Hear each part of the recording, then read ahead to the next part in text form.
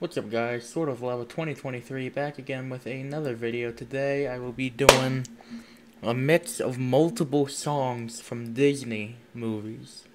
Hopefully some of you can figure that out.